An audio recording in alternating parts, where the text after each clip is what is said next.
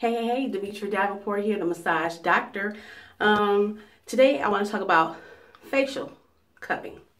These are some of the cups I got from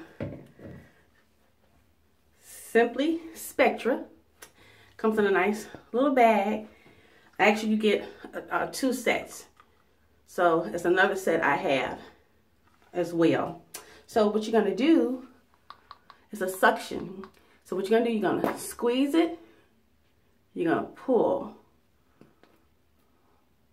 And what I did,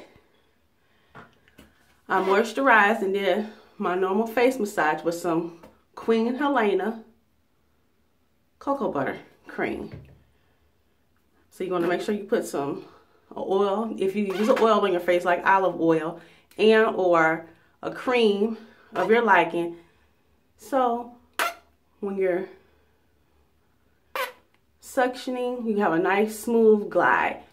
And what this is going to do, suck, facial suction, what it's going to do is going to stimulate blood flow, give you glowing, radiant skin. Yeah. Go here. You see a little suction? See how it sucks? Suction on your skin?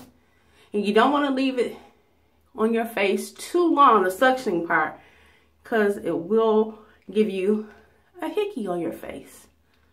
So you don't want hickeys all over your face or on your forehead. This helps with lymphatic drainage as well. And it helps reduce wrinkles. Yeah, and it's very helpful and beneficial. Yep, let's see. And you just suctioning and pulling. Then you also have the smaller one here. And you take and you pull across your lips. Top of your lip rather. Now the suction here is not as strong as this one. When you pull them across uh, your face or your jawline, the suction is not as strong. Yep.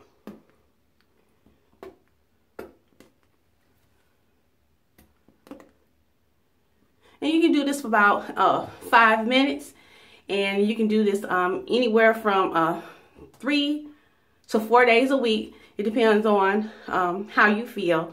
And like I said, it gives you, uh, my face feels like a tingly sensation, but it feels really good. And like I said, when you're using the suctions, don't leave them on your face too long, ladies, because it will uh, give you a hickey. And also what it's doing is pulling up all that healthy blood flow up in your face. And again, this is by uh, Simply Spectra. That's who I got this from. So, love you guys. I hope this information was very helpful. The Massage Doctor signing out. Love you. Bye.